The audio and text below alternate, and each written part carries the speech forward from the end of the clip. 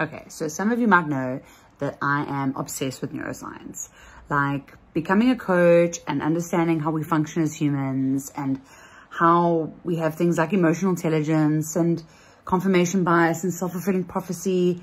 It all boils down to the brain. And when I when I was studying um, my coaching, there was this one specific thing that we learned, and that kind of paved the way for my obsession with the brain.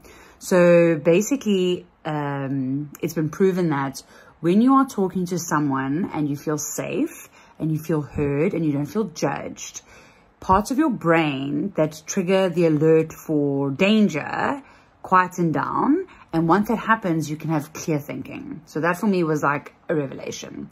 Now I am diving deeper because, oh my gosh, there's so much to learn about the brain. And I'm doing a neurofundamentals course at the moment that's specifically using applied neuroscience to movement.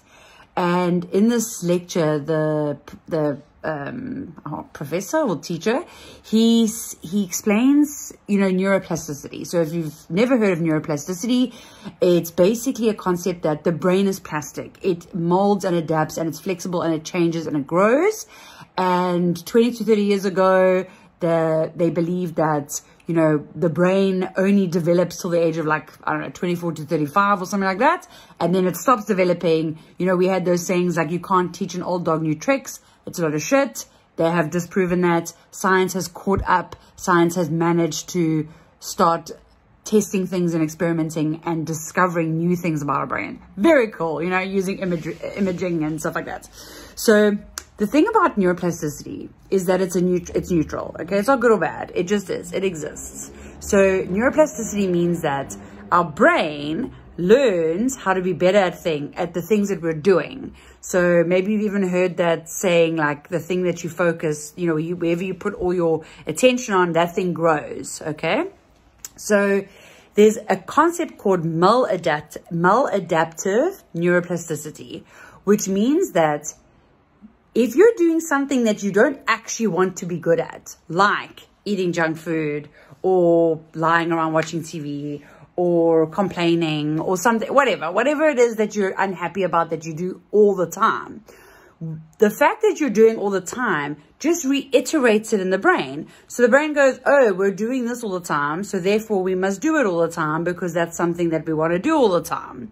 So just like how neuroplasticity can help us to grow and become better at things and to strengthen our self-esteem or to change or whatever we want to do in a positive sense, there's also the other side of the fact that neuroplasticity exists mean that it, that it works for the good and the bad, essentially.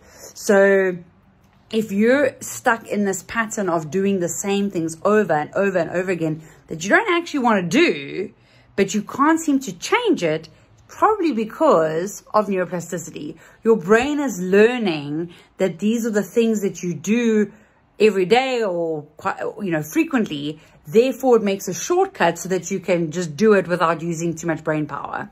So you can disrupt that because the brain can learn to change your behavior. It's so amazing um, and this is stuff that I do with my clients in my coaching sessions. So if it's something that you're interested in, please contact me. If you have any questions about it, please let me know. This stuff is so amazing. We can use our brains.